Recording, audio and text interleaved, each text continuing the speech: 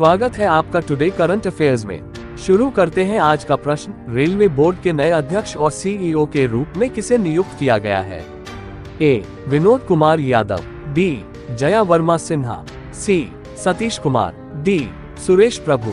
Answer C Satish Kumar. Explanation भारतीय railway प्रबंधन सेवा आई में इसके अधिकारी सतीश कुमार को रेलवे बोर्ड का अध्यक्ष और सीईओ नियुक्त किया गया है।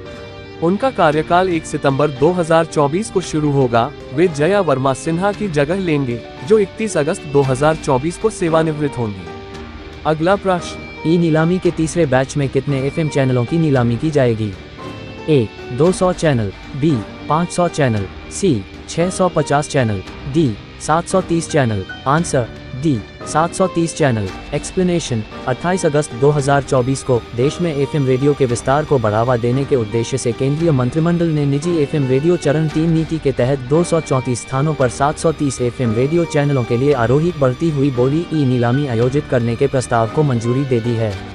इस योजना के तहत छोटे और मध्यम आकार के शहरों में एफएम रेडियो चैनलों की पहुँच को बढ़ावा दिया जाएगा, जिससे इन क्षेत्रों में सूचना और मनोरंजन का प्रसार और अधिक प्रभावी हो सकेगा। अगला प्रश्न केंद्र सरकार द्वारा केंद्र शासित प्रदेश लद्दाख में कितने नए ज़िले बनाए गए हैं?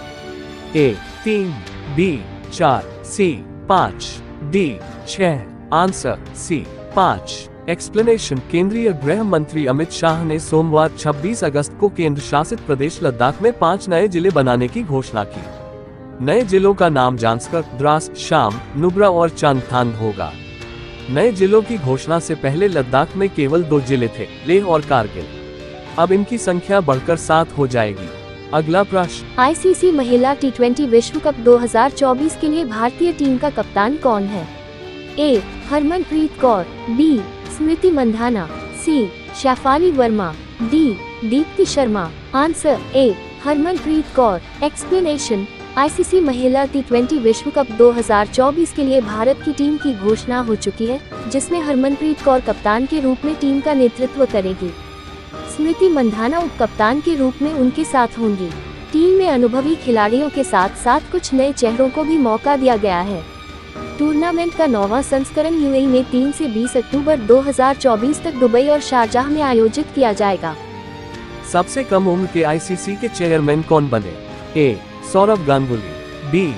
Jay Shah, C. Greg Barclay, D. Roger Binny, answer, B.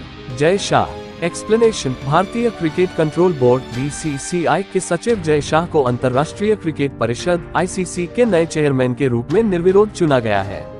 35 साल की उम्र में, शाह इस पद को संभालने वाले सबसे युवा व्यक्ति बन गए हैं। उन्होंने ग्रेग बाकले का स्थान लिया है, जिन्होंने तीसरी बार इस पद के लिए नहीं लड़ने का निर्णय लिया था।